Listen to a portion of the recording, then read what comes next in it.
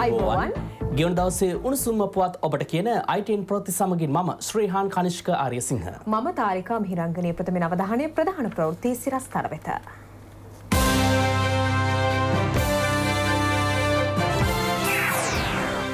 දේශපාලඥන්ගේ සාක්කුපුරවන සංවර්ධනයක් වර්තමානයේ නැහැ. ජනපති අවධාරණය කරයි. අගමැති ප්‍රධානත්වෙන් පක්ෂනායකයන් රැස්වෙයි. පසුගිය රජය අධ්‍යාපනයට වෙන් කළ මුදල අද එක් කලාපයකට.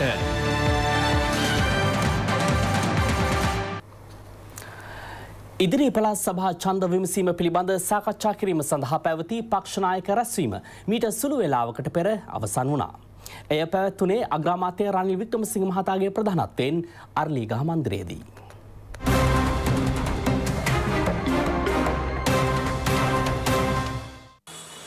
විපක්ෂ නායක ආර් සම්බන්ධන් මහතා ඇතුළු පක්ෂ නායකයින් රැසක් අරලියගහ මන්දිරයේ පැවැත්වුණු සාකච්ඡාවට එක්ව සිටියා. පැරණි මැතිවරණ ක්‍රමය යටතේ මැතිවරණය පවත්වන්නේද නව මැතිවරණ ක්‍රමය යටතේ මැතිවරණය පවත්වන්නේද යන්න පිළිබඳ මෙහිදී දීර්ඝ ලෙස සාකච්ඡා වී තිබෙනවා. රැස්වීමට එක් වූ බහුතර පක්ෂ නායකයන් පැරණි මනාප ක්‍රමය යටතේ ඉදිරි පළාත් පාලන මැතිවරණය පැවැත්වීමට එකඟව අදහස් පළ කළ බවයි අමාත්‍ය මනෝ ගණේෂන් මහතා මාධ්‍ය හමුවේ ප්‍රකාශ කළේ.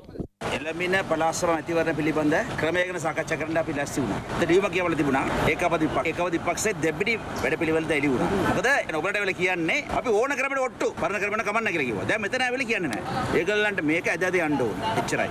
හැබැයි ඊට පස්සේ ඇවිල්ලා ඔයගොල්ලෝ මාධ්‍ය වල කරුණා කරලා ඒගොල්ලෝ කවුරු හරි කියනවා නම් අපි පරණ ක්‍රමයට ඔට්ටු අලුත් ක්‍රමයට ඔට්ටු චන්දර ඔට්ටු කියලා කිව්වනම් බොරු.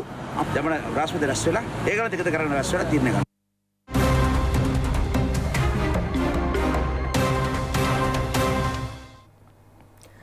වත්මන් සංවර්ධන වැඩපිළිවෙල ජනතා සුභසිද්ධිය සඳහා මිස දේශපාලනඥයින්ගේ සාක්කු පුරවා ගැනීමට නොවන බව ජනාධිපති මෛත්‍රීපාල සිරිසේන මැතිතුමා අවධාරණය කරනවා.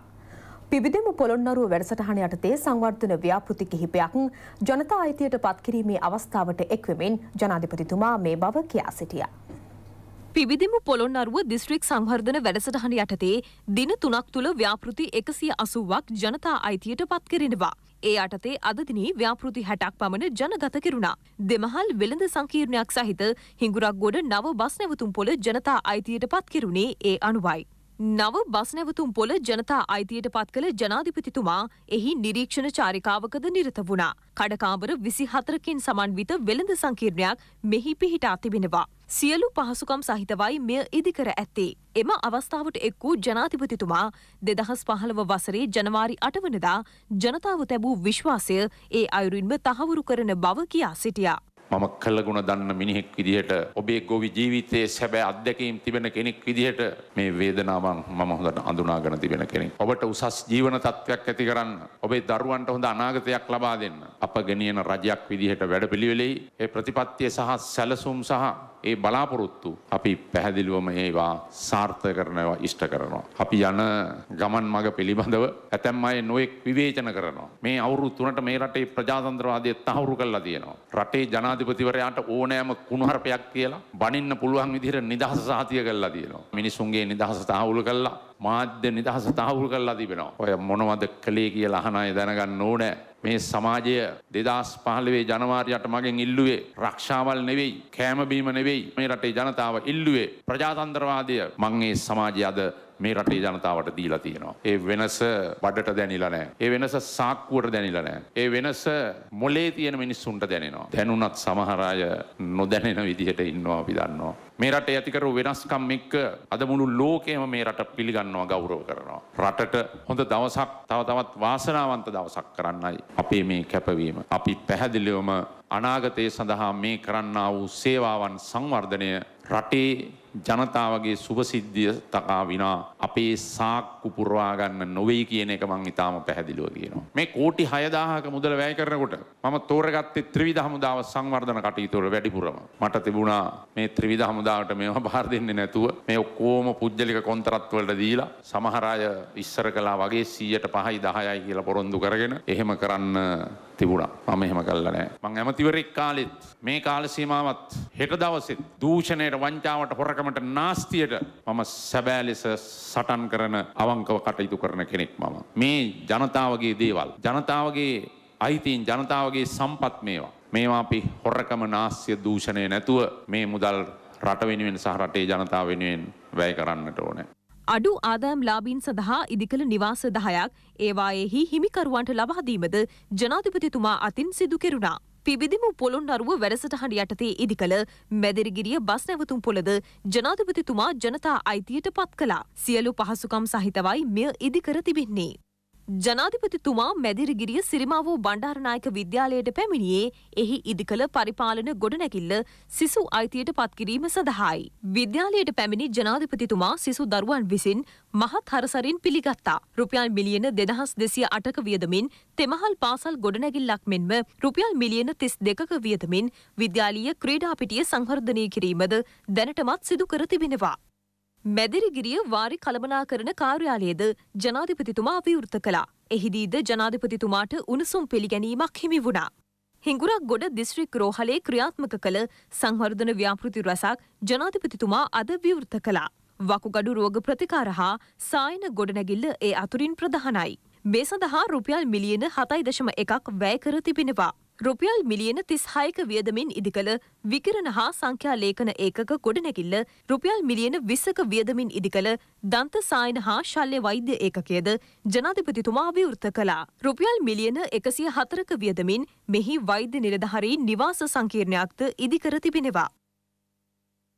හෙට දිනය හා අනිද්දා දිනේද පොළොන්නරුව දිස්ත්‍රික්කයේ තවත් සංවර්ධන ව්‍යාපෘති එකසිය විස්සක් ජනතා අයිතියට පත්කිරීමට නීමිතයි. දෙදහස් පහළව වසරේ සිට මෙම වසර දක්වා දිස්ත්‍රික්කය තුළ ව්‍යාපෘති සිය ගණනක් ක්‍රියාත්මක කර තිබෙනවා. ඊට අමතරවයි මෙම ව්‍යාපෘති එකසිය අසුවෙහි වැඩ නිම කර ඇත්තේ. සමස්ත ව්‍යාපෘති සඳහා වැය කළ මුදල රුපියල් කෝටි හයදාහක් වනවා. බෙම ව්‍යාපෘති ජනගත කිරීමේ උත්සව සඳහා විද්වතුන් කලාකරුවන් ඇතුළු බොහෝ පිරිසක් සම්බන්ධ කරගෙනුණා. දේශපාලන බෙහෙදෙන් තොරව මහජන නියෝජිතයින්ද මෙම වැඩසටහන් වලට එක්ව සිටියා. පල්ලිය ගොඩැල්ල අන්නූර් මුස්ලිම් කනිෂ්ට විද්‍යාලයේ සහ නොගගහ දමන මුස්ලිම් කනිෂ්ට විද්‍යාලයේ නව පන්තිකාමර ගොඩනැගිලි සිසු අයිතියට පත්කිරුණේ නියෝජ්‍ය අමාත්‍ය කාදර් මස්තාන් හා උතුරු පළාත් ආණ්ඩුකාර රෙජිනෝල් කුරේ යන මහත්තරුන්ගේ ප්‍රධානත්වෙන්. සියලුම මිනිස්සු එක සමානයි කියලා නොසිතන සියලු දෙනා මෝඩයි. සියලු දෙනාම සමානයි සියලු දෙනාම එක වගේ ඔක්කොම මනුස්සයෝ කියලා හිතන්න ගත්ත තැන තමයි එතන තමයි උතුම් කම තියෙන්නේ. ඇලහැර පොකුරු ගම ජලයෝජනා ක්‍රමිය ජනතා අයිතියට පත්කරුණේ අමාත්‍ය මංගල සමරවීර සහ රාජ්‍ය අමාත්‍ය මොහන්ලාල් ග්‍රේඩු යන මහත්තුරුන්ගේ ප්‍රධානත්වයෙන්. ඇලහැර ප්‍රාදේශීය ලේකම් කොට්ටහසේ පාසල් රැසක ව්‍යාපෘති කිහිපයක් සිසු අයිතියට පත්කිරීමේ අවස්ථාවටද මෙම අමාත්‍යවරුන් එක් වුණා.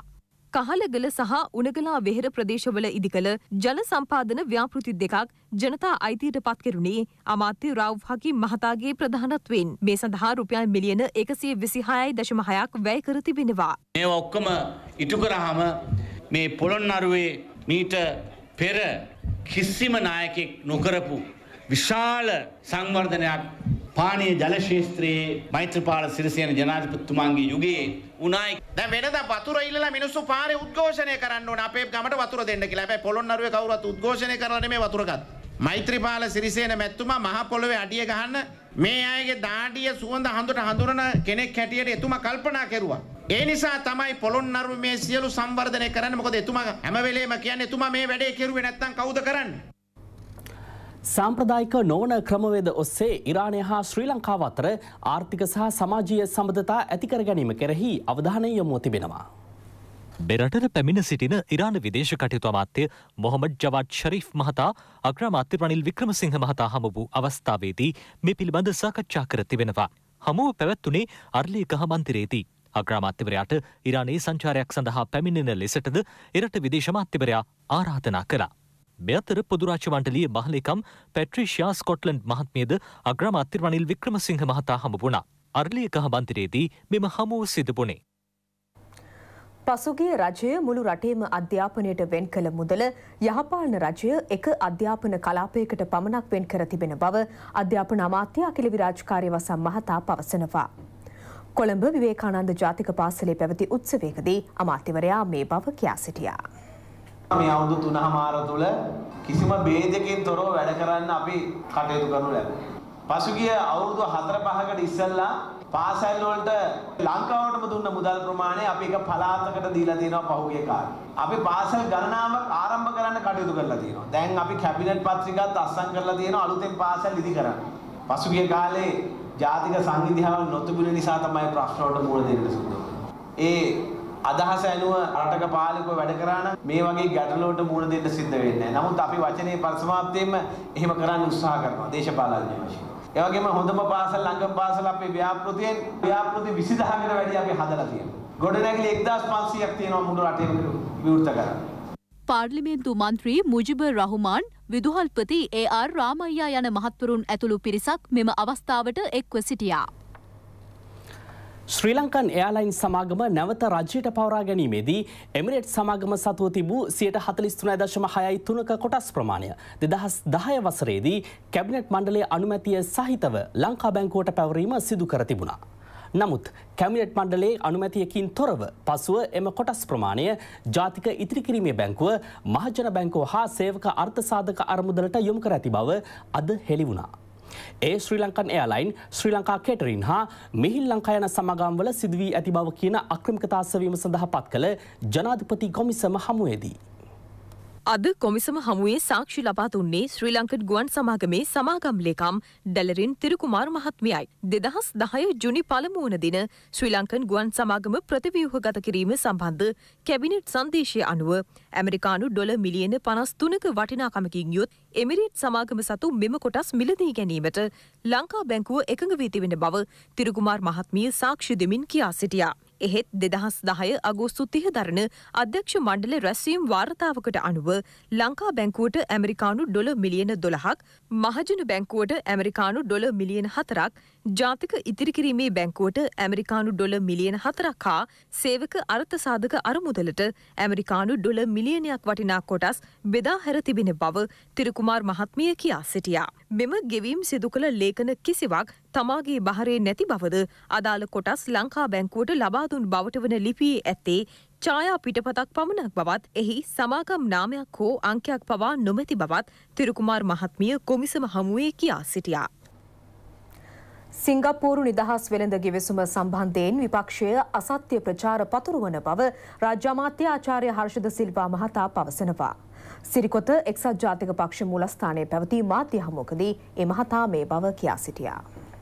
ඉන්දියාවේ වෛද්‍යවරයාට සිංගප්පූරු වෙළඳ කිවිසුම හරහා ඇවිල්ලා ඩිස්පෙන්සරියක් සිරිකොත ඉස්සරහා දාන්න පුළුවන් කියන මතයක් ගොඩනගමින් පවතිනවා. කිසිසේත්ම එහෙම බෑ. සිංගප්පූරුවේ වෛද්‍යවරයෙක් ඔහුට අවශ්‍ය වෙනවා සිරිකොත ඉස්සරහා ඩිස්පෙන්සරියක් කරලා බෙහෙත් දෙන්න. කිසිසේත්ම ඒක කරන්න බෑ. එන්න පුළුවන් කට්ටිය තමයි තෝරාගත් ස්පෙෂලිස්ට් කාණ්ඩයට සිංගප්පූරුවේ ආයතනයක් ලංකාවේ ආයෝජනය කරලා ඒ හරහා ඉන්ටර්කෝපරේට් ට්‍රාන්ස්ෆර් එකක් කරන්න හැකියාවක් තියෙනවා. ඒක දැනටත් සිද්ධ වෙනවා. විදේශ එන්ජිනියරුවන්ටයි ගෘහ නිර්මාණ ශිල්පීන්ටයි සිංගප්පූරුවේ ලංකාවේ මේ ඩිසයින්ස් කරලා අප්‍රූව් කරලා ඒව හරහා බිල්ඩින් හදන්න හැකියාවක් තියෙනවා කියලා. ඒක සම්පූර්ණයෙන්ම වැරදි කතාවක්. කිසිසේත්ම එහෙම කරන්න බෑ.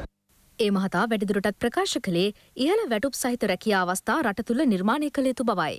අපේ ලංකාවේ නිර්මාණය කරන්න ඕනේ හොඳ රස්සක්. අපේ අනාගතය තීරණය වෙන්නේ දැනුම මත පදනම් වෙච්ච ඉහළ තරගකාරීත්වයක් තියෙන රැකියා නිර්මාණය කිරීමෙන් පමණ. ප්‍රේමදාස මහත්තයා අපිට ඇඟලුම් හඳුන්ලා දුන්නයින් පස්සේ ඊට පස්සේ කවුද මොනවද මේ රටේ අලුත් කර්මාන්තයක් හැටියට අපනයනය කරන්න ක්‍රියාත්මක වුණේ මොනවද තියෙන්නේ? ඒ නිසා දැනුම මත පදනම් වෙච්ච තොරතුරු තාක්ෂණය මත පදනම් වෙච්ච තාක්ෂණයෙන් දියුණු ක්‍රියාදාමයන්ට අපි එකතු වෙන්න ඕනේ.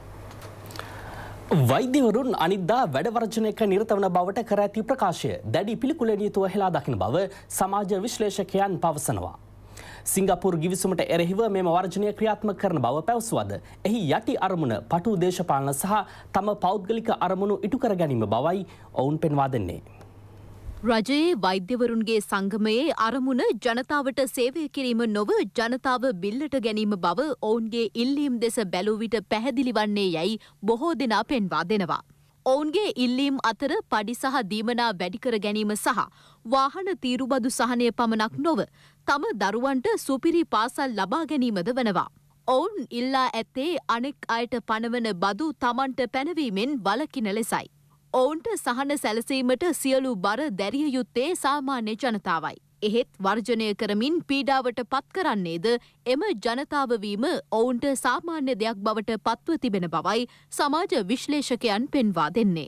මෙම වර්ජන මාෆියාවට එරෙහිව ජනතාව රෝහල් කමිටු සාදාගත යුතු කාලය එළඹ ඇති බවයි ඔවුන් පෙන්වා දෙන්නේ. සිය පටු අරමුණු උදෙසා රෝගීන් බිල්ලට ගත්තද වෛද්‍යවරුන් වෙනුවෙන් උපරිම සහන සලසා තිබෙන බව රජය පවසනවා. වෛද්‍යවරයෙකුගේ දීමනාව රුපියල් පහළොස් දහසකින් සහ. විශේෂඥ වෛද්‍යවරුන්ගේ දීමනාව රුපියල් විසි පන්දහසකින් ඉහළ නංවා තිබෙනවා. හදිසි සේවා සඳහා පැමිණීම වෙනුවෙන් දැනට ගෙවන රුපියල් තිස්දහසක මුදල රුපියල් පනස් දහස දක්වාද වැඩිකෙරුණා. විශේෂඥ වෛද්‍යවරුන්ට ගෙවන එම මුදල රුපියල් හැට දහස දක්වා වැඩිකිරීමටද රජය තීරණය කර තිබෙනවා. සියලු දීමනා සහිතව වෛද්‍යවරයෙකුගේ වැටුප රුපියල් එක් ලක්ෂ හැට හද්දහසක් පමණ වනවා. විශේෂඥ වෛද්‍යවරයෙකුගේ මුල්ම වැටුප රුපියල් දෙලක්ෂ පනස් දහසක් බවද සඳහන් වනවා. මීට අමතරව ප්‍රවාහන දීමනාවද ඉහළ දමා තිබෙනවා. රුපියල් ලක්ෂ තිස් හයක බදු සහන සහිත වාහන බලපත්‍රයක්ද හිමි. මෙවැනි තත්ත්වයක් මත වෛද්‍යවරුන් වෘත්තීය ක්‍රියාමාර්ගවල නිරතවීම අසාධාරණ බවයි සමාජ විශ්ලේෂකයන් තවදුරටත් පෙන්වා දෙන්නේ.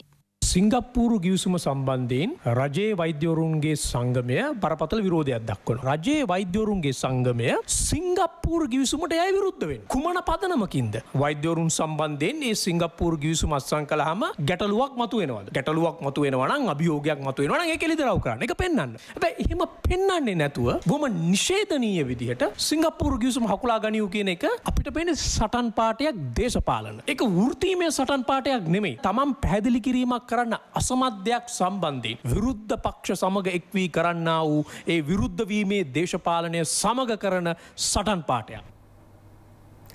ගම්පහ වෑබඩ විද්‍යාදීප මහා විද්‍යාලයේ සිසුවෙකුට පසුගියදා පහරදුන් බව කියන සිද්ධියට සම්බන්ධ පුද්ගලයින්ට දේශපාලන මැදිහත්වීම මත නිසි පරිදි නීතිය ක්‍රියාත්මක නොවන බව සිසුවාගේ දෙමව්පියන් චෝදනා කරනවා.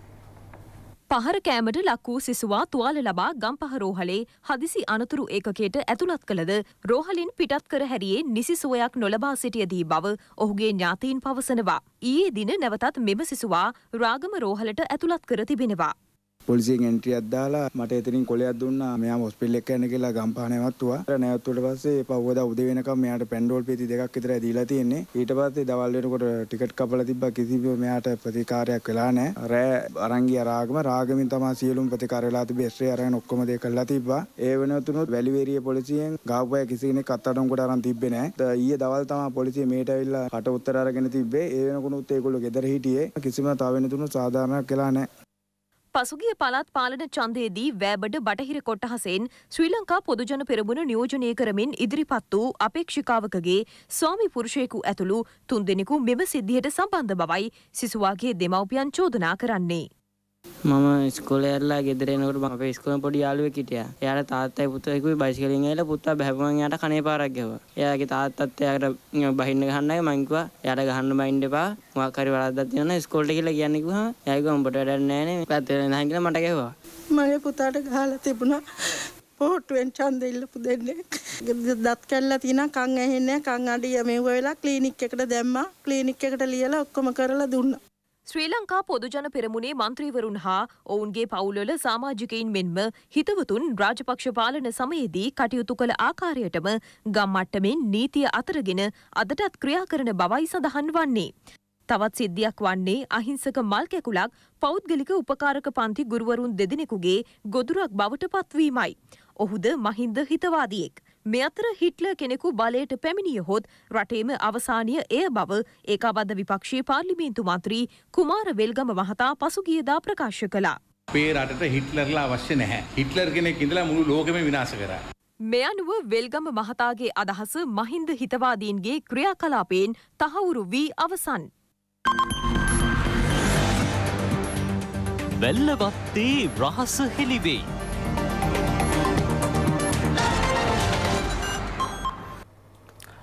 වැල්වත්ත චාර්ලිමන් පාර ප්‍රදේශයේ සිදු වෙඩි තැබීම සම්බන්ධ CCTV දර්ශන මාධ්‍ය වෙත ලැබී තිබෙනවා. මද්‍රව්‍ය ජාවාරමේ යෙදුණු පිරිසක් හා පොලිසිය අතරයි මෙම වෙඩිතැබීම සිදුව ඇත්තේ. වැල්ලවත්ත හෝටලයක් ඉදිරිපිට මෙම ජාවාරම්කරුවන් රැදී සිටින බවට ලැබුණු තොරතුරකට අනුව ඔවුන් අත්තරංගොඩ ගැනීම සඳහා පොලිස් නිලධහරින් මෙහියුමක් ක්‍රියාත්මක කළා. එහිදී මද්‍රව්‍ය ජාවාරම්කරුවන් ඔවුන් පැමිණි මෝටර් රථයෙන් පලායාමට උත්සාහ කර තිබෙනවා. වහා ක්‍රියාත්මක වූ පොලිස් නිලධහරියෙකු ඔවුන්ට වෙඩි ප්‍රහාරයක් එල්ල කළා. මෙහිදී පොලිස් නිලධහරියෙකුද තුවාල ලබා තිබෙනවා. සිද්ධිය CCTV කැමරාවක හොඳින් සටහන්ව තිබුණා. පාරිභෝගික ආකර්ෂණයට ලක්වන සේවා වෙසඳුම් රැසක් සමගින් සන්නාම අනන්‍යතාව නවීකරණය කිරීමේ වැඩසටහනක් ශ්‍රී ලංකා ඉන්ශුවරන්ස් ප්‍රධාන කාර්යාලයේදී අද පැවැත්වුණා. නවීන යුගයට ගැලපෙන සැලසුම් සහිතව රක්ෂණ ශේත්‍රයේ ඉදිරි පියවර වෙනුවෙනුයි මෙම වැඩපිළිවෙල හඳුන්වා දුන්නේ. මෙයටතේ ශ්‍රී ලංකා ඉන්ශූරන්ස් නව සන්නාම ලාංජනය හඳුන්වාදීමද මෙහිදී සිදුවනා. දිවයින පුරා ශාකාජාල පුළුල් කිරීමත් ශාකාවල පහසුකම් වැඩිදියුණු කිරීමත් මේ යටතේ සිදුවනු ඇති.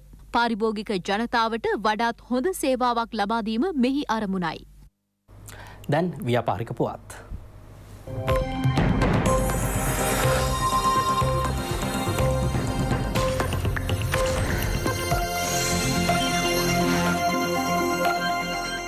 ගෝලීය දිගුදුර තුන් ප්‍රයාම තරඟාවලියේ එක් අංශයක් වන අයන්මෑන් හැත්තෑවයි දශම තුන හෙවත් හාෆ් අයන්මෑන් තරගය ලබන වසරේ පෙබරවාරි විසි හතර වනදා කොළඹදී පැවැත්වීමට කටයුතු යොදා තිබෙනවා. ප්‍රෝම් සෙරන්ඩීප් පෞද්ගලික සමාගම සමග ශ්‍රී ලංකා සංචාරක ප්‍රවර්ධන කාර්යංශය සංචාරක අමාත්‍යංශය හා පෞද්ගලික ආයතන කිහිපයක් එක්වයි මෙය සංවිධාන කරන්නේ. ඒ පිළිබඳ දැනුවත් කිරීමේ මාධ්‍ය හමුවක් ක්‍රීඩා අමාත්‍යංශයේදී පසුගියදා පැවැත්වුණා. අබාන්ස් තොග වෙළඳ අංශය සංවිධාන කළ ඇසල මහා බද්දන්සල කොළඹ BRC ක්‍රීඩාංගණය ඉදිරිපිටදී පසුගියදා පැවැත්වුණා. එය සංවිධාන කෙරුණේ දහතුන් වන වරටයි. ඩිස්රුප්ට් ඒෂයා දෙදහස් දහට තොරතුරු තාක්ෂණික විවසායකයින්ගේ සමුළුව හා නවෝත්පාදන උළෙල ලබන එකොළොස් වනදා පැවැත්වීමට නියමිතයි. ශ්‍රී ලංකා තොරතුරු හා සංනිවේදන තාක්ෂණ නියෝජිත ආයතනය මෙය සංවිධාන කරනවා. ආදුනිකයින් සඳහා විවසායකත්වය ව්‍යාපාර හා තාක්ෂණය පිළිබඳ අත්දැකීම් රැසක් මෙහිදී ලබාගත හැකි.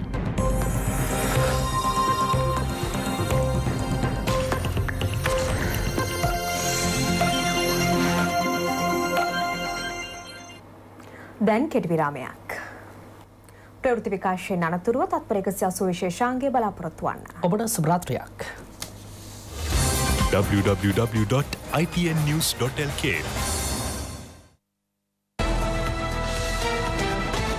පොහොට්ටුවේ අලුත්ම නාඩගම හෙට වේදිකාගත කිරීමට නියමිතය. මේ නාඩගම දැන් නටන්නේ අලුත්ම කස්තිරම්වලටය. අපි එය ජනබල සේනා නාඩගම ලෙස නම් කරමු.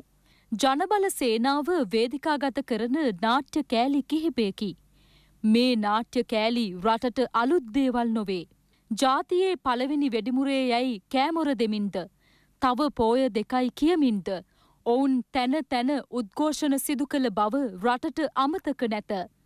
මේ වැඩපිළිවෙලක් නැති හරි හමන් න්‍යායපත්‍රයක් නැති දේශපාලන බංකොලොත් මිනිසුන් දැන් හදන්නේ තවත් ජෝගයක් නැටීමටය.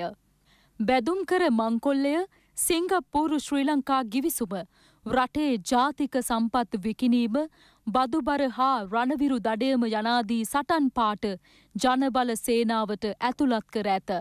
ශ්‍රී ලංකා නිදහස් පක්ෂයේ අනුශාසක දුරයේ සිටින අතර තමන්ටවත් අයිති නැති මහාචාර්ය ජීල් පිරිස්ගේ ඒකාබද්ධ විපක්ෂය නැමැති පිදුරුගහේ එල්ලි සිටින මහින්ද රාජපක්ෂ ඇතුළු රාජපක්ෂ මල්ලිලාට දැන් යනයන මං නැතිව තිබේ. එහෙන් රටපුරා හිට්ල කෙනෙකුගේ ආගමනය ගැන කසුකුසුවක්ය. මෙහෙන් කනාමුට්ටි තරගයකට ලෑස්ති වෙන තවත් පිරිසක්ය. නියම මුට්ටිය කුඩුවනතුරු මේ රාජපක්ෂ සහ හිට්ල මල්ලි දෙස බලා සිටින මහින්ද අයියාට දැන් කර කියා ගන්නට දෙයක් නොමැත. කළ හැකි එකමදේ රජපුටුවට ලෝභකමින් රට්ටු රැවැට්ටීමය. ඒකාබද්ධ විපක්ෂයේ දෙපැත්ත බෙදී කාකොටා ගන්නා මේ අය අද ඒ අඩුපාඩු වසා ගැනීම සඳහා මෙවැනි කඩාකප්පල්කාරී නින්දිත වැඩපිළිවෙළවල් සැලසුම් කරන්නේය. බැඳුම්කර සිද්ධිය සම්බන්ධයෙන් මේ වන විටත් නඩුවක් විභාග වෙමින් තිබෙන්නේය. රාජපක්ෂලා වගේ මේ යහපාලන ආණ්ඩුව වංචා දූෂණ යටගසන්නේ නැති බවට එය කදිම උදාහරණයකි. පොහොට්ටු කල්ලිය ජාතික සම්පත් විකිනීම සම්බන්ධයෙන් හෙට ජනබල සේනාවේ කතා කරන්නේ රෙද්දක් ඇඳගෙන දැයි ඇසිය යුතුය. දෙදහස් පහළවේ ජනවාරි අටවනදා යහපාලන ආණ්ඩුව පත්වන විට මහින්ද රාජපක්ෂ මේ රටේ හොඳම ඉඩම් ටික චීනයට බාරදී අවසන් වී තිබුණි. ඒ කාලයේ ඔවුන් ගැසූ සමහර ඩීල් මේ ආණ්ඩුව බලයට ආ විගස නවත්වා දැම්මේය. යහපාලන ආණ්ඩුව රට පත්වී තිබෙන ආර්ථික අර්බුදය වෙනස් කිරීම වෙනුවෙන් ගන්නා ක්‍රියාමාර්ග ගැන පොහොට්ටු කල්ලිය මවන මේ බොරු බිල්ලන්ට ජනතාව දැන් බියවන්නේ නැත. බියවිය යුතුද නැත. කාලයක් විදුලිපුටුව ගැන කියමින් මිනිසුන්ගේ චන්ද හිඟාකෑ රාජපක්ෂලා දැන් රට බෙදනවා රට බෙදනවා යයි කියමින් ආපසු වරක් බලය ලබා ගැනීමේ කුරුමානම අල්ලන්නට පටන්ගෙන තිබේ. හැමදාම එකම බොරුව ගෙනයාමට බැරි බව පොහොට්ටු කල්ලිය කවදාවත් තේරුම් ගන්නේ නැත. නිතර දකින කුකුලාගේ කරමලයත් සුදුයි කිව්වාවාගේ දැන් රට්ටුන්ට ඒ ගැන ගානක්වත් නැත. ඒ නිසා ජනාධිපති අපේක්ෂකත්වයට ගහමරා ගන්නා රාජපක්ෂ සහෝදරයෝ සමාගමේ බංකොලොත් භාවය වසාගන්නට. හෙට ලිප්ටන් වටරවුම වටා මේ අය ඒකරාශී වනු ඇත. ජනබල සේනාවෙන් පසු මේ රටේ මිනිසුන් පොහොට්ටුවට බලයදේවියයි ඔවුන් සිතනවා ඇත. එහෙත් හෙට ඔවුන්ට සිදුවනු ඇත්තේ අලියාගේ නැට්ටේ එල්ලි දිව්‍යලෝකයට ගිය ගමරාලට සිදු වූ දේ බව වැටහෙන්නට ඒකාබද්ධයේ මේ ගමරාලලාට තවත් බොහෝ කල් ගතවනු ඇත. දැනට මේ ඇති සෙස්ස පස්සට.